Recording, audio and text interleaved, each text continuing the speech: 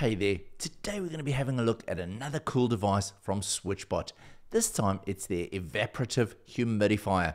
What's really cool about this device is it can automatically be refilled using one of their robot vacuums.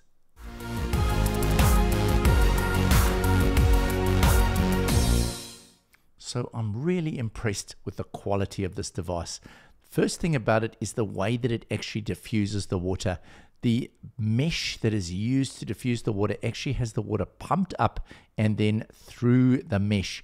Secondly, there's three ways to add the water. You can either add it from to the tank within the unit, or you can remove the tank and fill it up, or you can use the SwitchBot S10 robot to automatically refill, uh, refill it.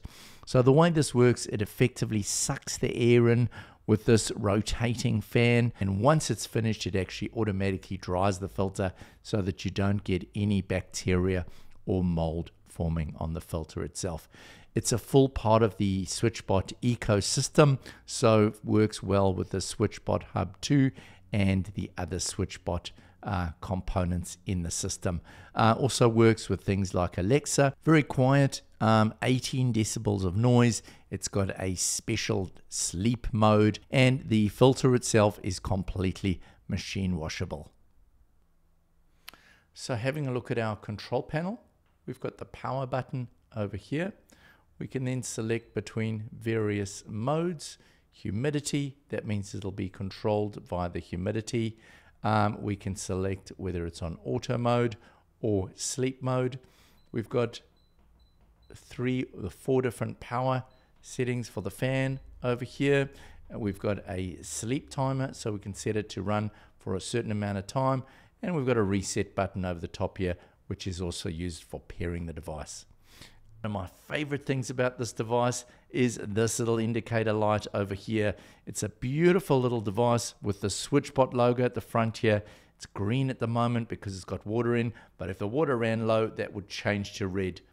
Looking at the front of the unit with the cover off, you can see where the SwitchBot S10 robot can come along and top this up with water. This is the filter unit that disperses the water. As you can see, it lifts correctly right off the top there. And at the bottom there, you can see the water tray and the little pump that pumps the water up to the top and then distributes down through that filter element. As you can see, the filter element can be taken off there and placed in your washing machine. When you place it back into the filter tray, just make sure that you press it in with the little circle going over the pump. You can then easily slide this unit back inside. Our water tank can be filled up. As you can see along the side there is a little magnet that slides up and down, which will tell the unit how much water is inside the tank. It's really easy to set up. You just open up the SwitchBot app, go along, press the plus button and add device.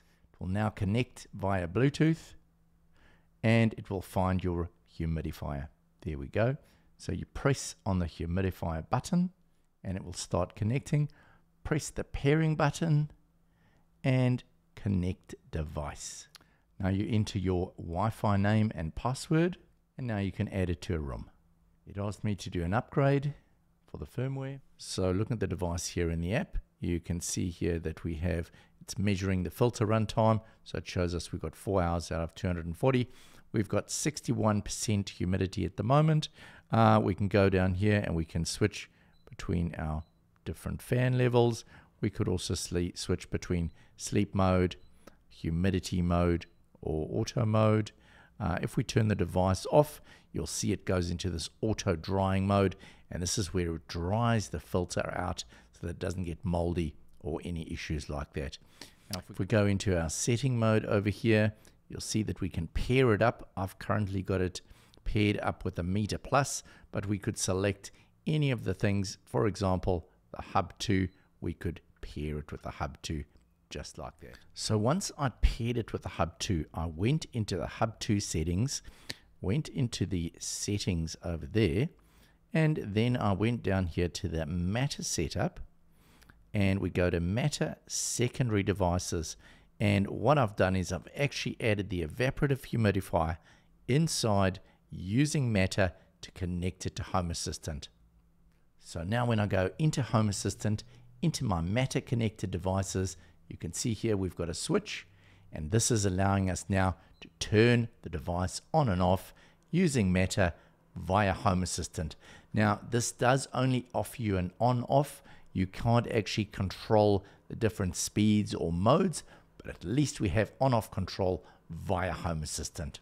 Anyway, that's all for now. Hope you've enjoyed this edition, and I look forward to seeing you in the next one. Bye for now.